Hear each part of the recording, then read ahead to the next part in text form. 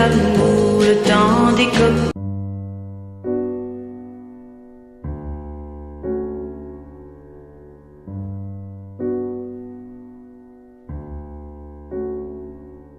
一切的触发点是因为一本 Elon Musk 的传记。我在二零二一年七月三十日买下这本书。随着我的阅读，我很快意识到它奠定了我删掉社交软件的命运。这是我读过最令我难受的书之一。原因并非书本内容，而是因为这个作者的文笔。这本传记的作家是一位《纽约时报》的记者 Ashley Vance。他的文笔并没有不好，实际上他的文笔非常好。但这种好。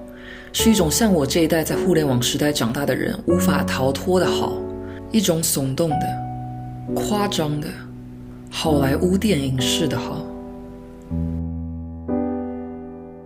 我曾经会把这种文笔归类于八卦小包，但渐渐的，这已经成为任何一家有权有势的大型新闻媒体会使用的语言。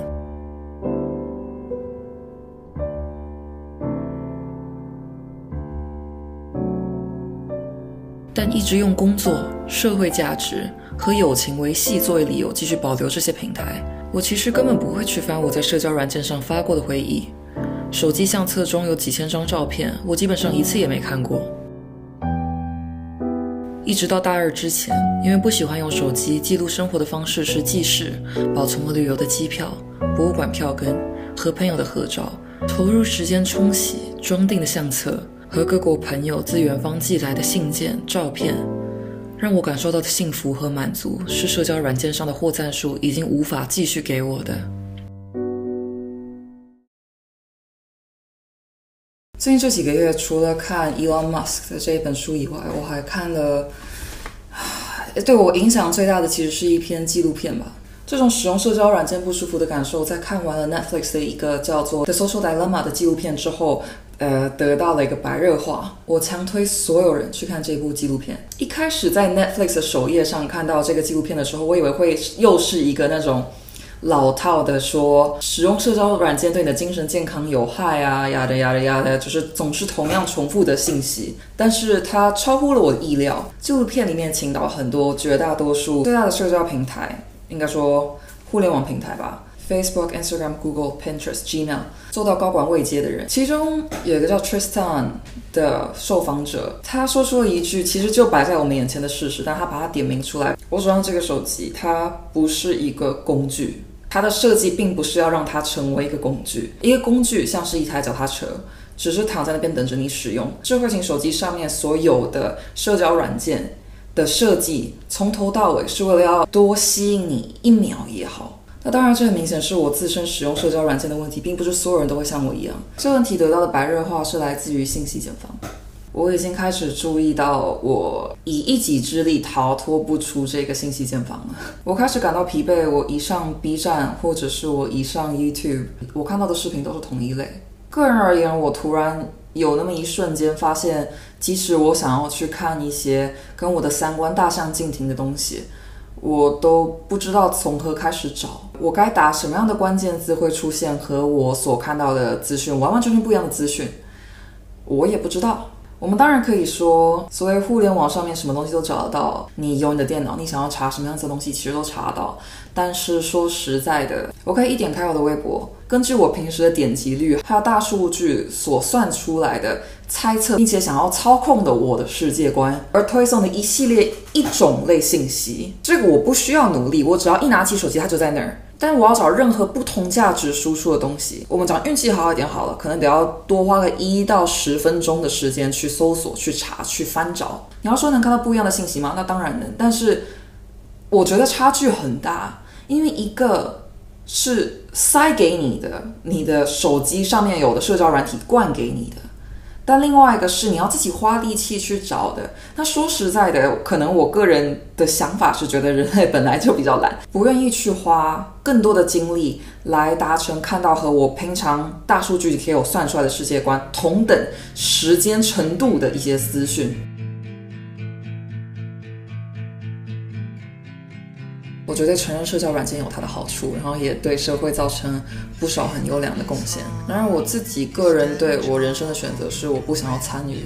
某种意义上，我想 B 站也算是社交媒体的一种。嗯，B 站我还是会留着，但说实在的，我也必须要开始给我 B 站的使用方式定制一些计划。那那些在下一次一个月后，我会发一支一个月不使用一定程度的社交媒体的记录，到时候来告诉你们我可能实施了哪些。我能够理解为什么让人凉掉会变成现在这么兴盛的一个情况。假设今天我是一个心智尚未成熟，可能还是。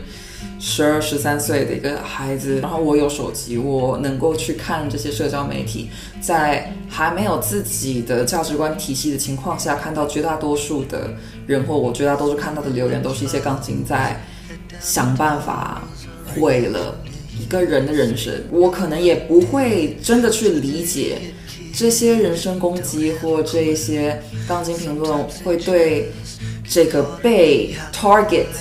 的这个人有多少的精神影响？而我想要融入群众，可能生活中自己的不满，把情绪发泄在这上面，跟着一起去呼吁让一个人凉掉。我觉得认为有一些人应该凉掉。最近国内一些有权势的人比较油腻或犯法的行为也被揪出来，我认为那当然是好。但我觉得社交软件的力量很强大。如果大家坐在屏幕前真的有心想要毁掉一个人，完全办得到。我知道我自己没有办法消化这么。大的力量和责任，就是作为一个互联网使用者，我觉得个人可能也还不够成熟，也不是特别适合使用这些东西，所以就想干脆把它删掉吧。你知道我觉得最讽刺的是什么吗？我觉得最讽刺的是，社交软件的设计是为了让所有人都发言权，但是就因为这一点，没有人有发言权。我知道越来越多人已经不敢再说自己真正的想法或分享自己的生活，因为社交软件的力量已经上升到可以让人丧失生命，可以危及到一个人他的家人的人身安全。目前我的微博账号还没有成功删掉，但我尽可能想办法把它删了吧。微信公众号我应该会留着，可是我基本上也不太用它。总之，Instagram、微博还有 Facebook 这些比较浪费我时间的东西，我就把它们都删了。B 站的话，我个人只需要建构一个系统，让我不要一直去盯着数据页。反正微信朋友圈我本来就不看，我也没有推特，所以我现在有的社交软件就 YouTube、B 站、Pinterest。有人打算跟我一起挑战看一段时间。我是打算这辈子啊，不用社交软件。工作情况允许你，生活情况允许你，也一周不使用社交软件的话，我们定制一个目标，就下周我会找一天有同事会在那之前，把你手机上面的社交软件全部删掉，不要上浏览器去看你的社交账号。嗯，你尝试看看一周，并没有要你像我一样把账号整个永远删掉。我好奇有没有人想要试试看，要看看你能够撑多久。然后下周我找个时间，我们来腾讯会议复盘。想要参加的，在弹幕上面打一个参加。